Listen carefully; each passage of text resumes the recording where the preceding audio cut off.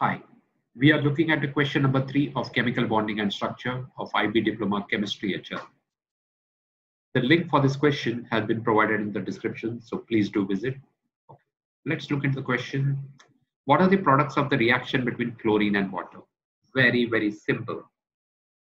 Chlorine and water, they will react to form HCl but more interestingly, HOCl, which we call hypochlorous acid.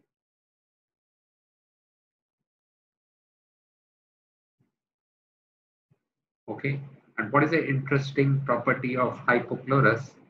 It is unstable at the ambient temperature and it will form HCl, but more importantly, the nascent oxygen.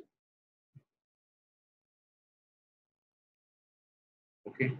And this is exactly how basically why we bubbled okay the chlorine or we why we chlorinate the water of the swimming pool etc but this oxygen is basically going to oxidize whatever the bacteria or any microbes. Okay? So the whole idea of doing this is to produce nascent oxygen. Hope it is quite clear to you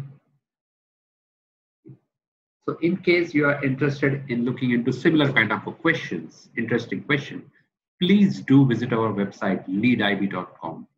The link has been given in the description. Thank you.